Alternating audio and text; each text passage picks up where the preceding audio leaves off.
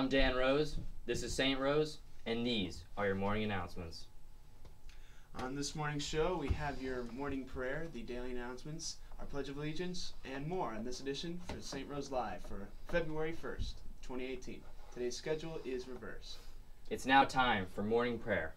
Put yourself in the presence of God, clear your mind, open your heart, and please stand by for this morning prayer. Audio Jungle.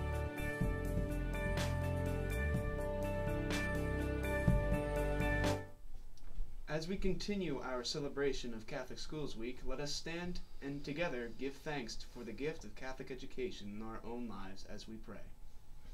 In the name of the Father, Son, and the Holy Spirit. Amen.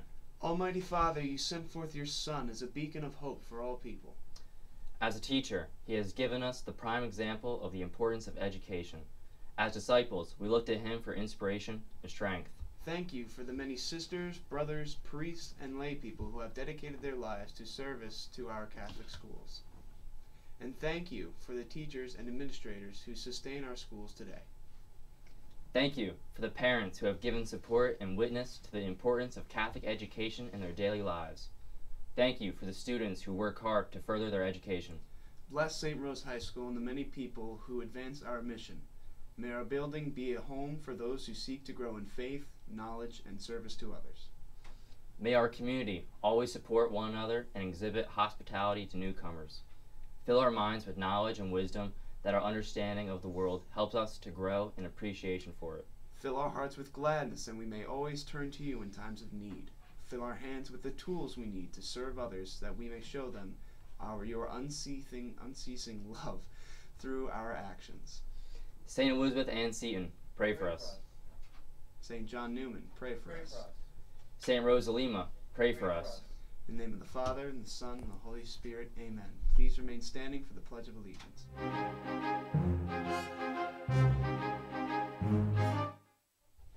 I pledge Allegiance to the flag of the United States of America and to the republic for which it stands, one nation, under God, indivisible, with liberty and justice for all.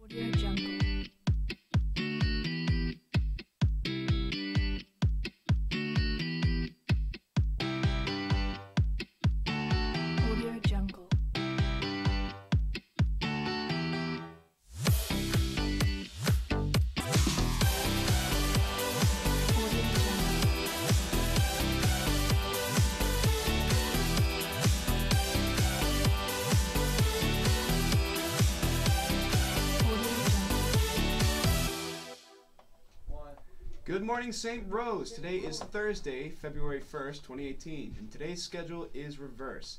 Here are today's daily announcements.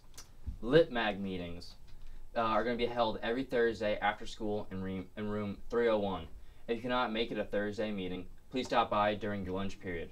Periods 4 and 6 in room 301 and period 5 in 302. Be sure to join our Schoology group and see Mrs. Carl with any questions. Um, submission should be sent to Mrs. Carl email. Um, yeah. The St. Rose National Honor Society is running a blood drive on Friday, February 23rd. Please see Mr. Perino in room 605 or an NHS officer for more information or to sign up to donate. Students must be 16 years older and weigh at least 120 pounds. Yep. If anyone interested in helping out stage crew for this year's production of Beauty and the Beast, uh, with Mr. Appleyard in room 203 after school on Monday, February 5th. If you can't make it, send him a message on Schoology.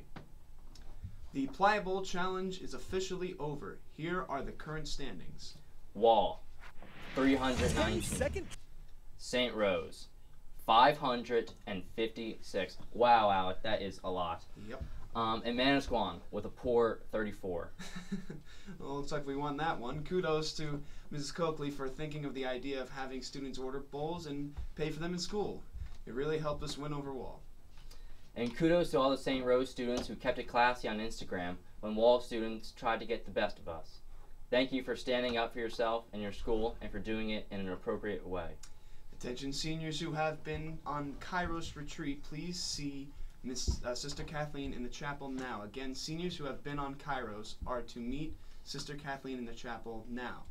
And those are your daily announcements. If you missed any of today's announcements, you can check the monitors in the hallway or in the cafeteria, or just log on to St. Rose's website and rewatch our show. It's now time for today's daily 10 trivia questions of the day. See if you and your classmates can answer today's trivia question. 10 second trivia. Which of these seasons typically coincides with fall and winter in the U.S.? Baseball season, hurricane season, flu season, or carnival season? The only one of these seasons that starts in the fall and continues through winter is the flu season. In January, a group of students from St. Rose High School joined hundreds of other from the Diocese of Trenton for the Rally for Life in Trenton, followed by a mass with the bishop. The Diocese of Trenton's TV crew was on site and videotaped the event, and we had the portions which feature St. Rose staff, students, parents, and friends. Take a look. The seminary brought us to the March for Life, and I loved it. And when I became a priest, I wanted to keep coming and showing the community how beautiful we is to be here, how we rejoice in the gift of life.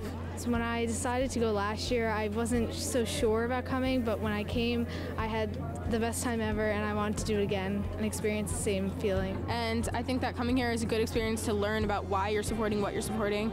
And I think it could really change people's opinions if they would give it a try. Sometimes we can feel like loners out there in our parishes and our communities being pro life, but coming here, you really see the support that we have not only from these hundreds of thousands of people, but from the priests, the nuns, um, other religious groups, other even um, non religious groups that are here, all supporting human dignity and the right to life. It's important, I think, for us to come together, and it's a witness to the world. There were hundreds of people from other countries here, including lawmakers, uh, and they get inspired. And the March for Life concept, uh, pioneered here, first by Nellie Gray in 74, has gone all over the world.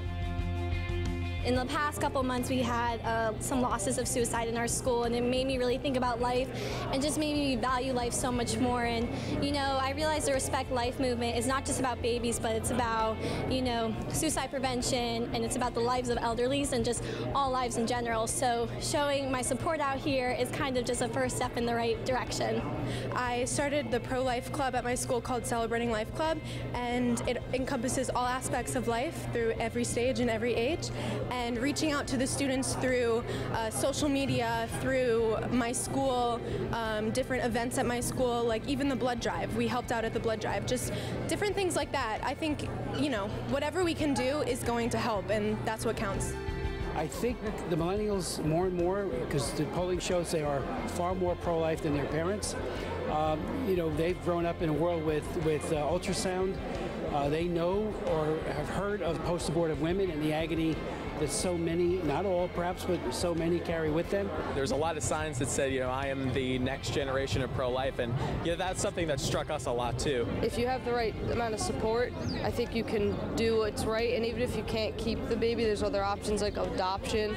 I think that knowledge is power, and we have a generation of young people who are more educated than many, many in the past, and, and more interested, to be honest with you. Um, we all want freedom, we all want to maintain our rights, but no one's right should supersede that of the other. We have passed a lot of laws. At the state level, there's about 300 since 2010. All of them saving lives, all the funding bans. None of it happens without prayer and the people like those who are in this room. It just doesn't happen. I just want to thank Bishop O'Connell for su- always supporting our pro life efforts. Thank you to all the many priests and religious and parishioners, friends, and, and the bus captains, the many bus captains from around our diocese who have worked so hard to make this happen for so many people. So, way to go! My sisters and brothers, we join together on this sober day, this day in which we commemorate, not celebrate, but commemorate uh, the tragic decision of Roe v. Wade. Today, the anniversary of that wrong-headed judicial pronouncement is a day that is tinged with sorrow and regret. It's an example of the fact that what is legal is not always moral and right. The silent voices of over 53 million souls in the United States make that case for us. And we call them to mind today. My brothers and sisters, the State House in Trenton is much closer than Washington, D.C.